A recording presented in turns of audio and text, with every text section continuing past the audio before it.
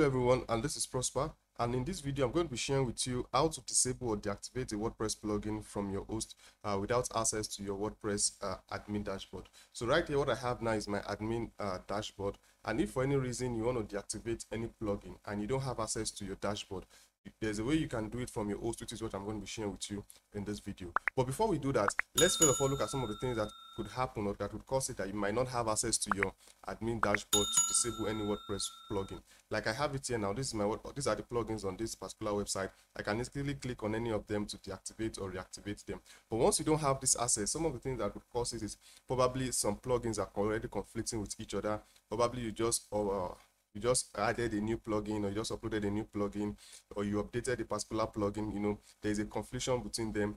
With that once that that happen you might be having you won't have access to your dashboard or you might be having something like this. Maybe uh, there's a critical error you know this is a common one. You see a critical error on your website please check your site admin dashboard. So once you see um things like this the first thing you might need to do is considering deactivating some of your recent plugin or do them one after the other. And then for you to do that you need to do the uh, do that from your host. And that's what i'm going to be sharing with you in this video. So now let's let's do that. So depending on your host it's quite uh, similar but the interface might be different so the process is similar. So what you do is you head over to your to your host. So for this particular website now i'm hosting it on Hostinger. So this is what your dashboard will look like. So make sure you're on the particular website you see it here. So once you do is you scroll down to your file manager. Right, so once you're uh, once you're on your file manager, you see this public HTML, and then uh, so you come to WP content. So in this uh, WP content, you can see we have plugins here.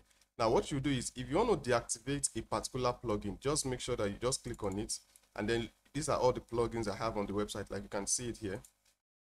So all the plugins that I have here, this, that's what is showing here. So if there's any other, if there's any plugin here you want to deactivate or disable, what you can just do is just click. Let's say, for example, I want to disable this particular all-in-one WP migration. What I'll just do, I'll just uh, right-click and I'll rename it. So probably I can just add. Let me just add one after it, and I click on rename.